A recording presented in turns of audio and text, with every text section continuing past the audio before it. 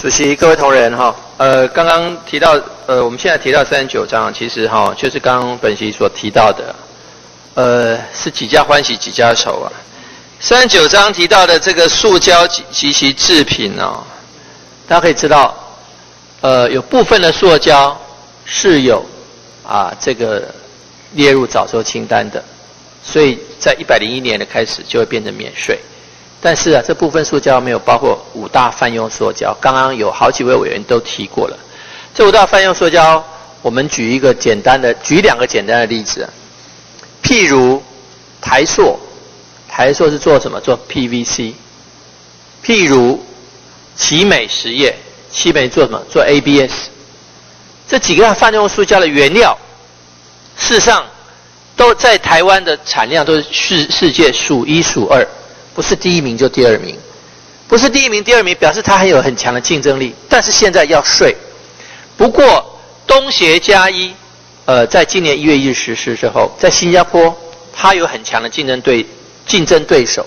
新加坡的五大泛用塑胶原料进口到中国大陆是免税的。那这个部分呢，在 A 法协商的时候，台湾的谈判代表没有办法拿拿下来，没有办法把它列入早做清单。也就是说，将来台湾。的这几大强项进入去中国大陆是要税金，那新加坡是免税。执政党的委员也说啊，说这个部分的税金很重要。好，那如果是这样的，有关台湾经济发展的这五大费用塑胶这几项啊，就没有被没有被优惠到。可是呢，台湾对于这个中国大陆进口到台湾的一些塑胶，尤其啊，等一下会提到的这个树脂，树脂每年台湾有生产七八百亿的树脂，他们。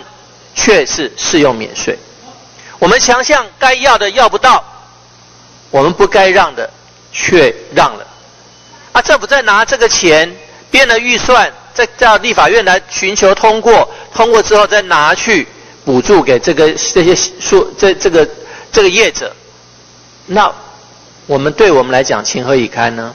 同样一个塑胶原料，有些列入早收清单，那有些业者就享受到好处。可是有些业者没有办法享受到好处，还反而政府要编预算来补贴这些业者，那施与受之间呐，未免太不公平。所以其实我们也齐齐要呼吁的，将来对于 A 法的早做清单也好，或是后续的协商有得利的厂商，我们应该或许朝野可以考虑，基于社会公平的原则，可以考虑对这些厂商啊，有实施特特别的的这个不是税负，但是有特别的费。使他们能够让他们能够多把获利吐出一点来补助一些受损害的厂商，这个应该是可以考虑的一个思考方向。谢谢大家。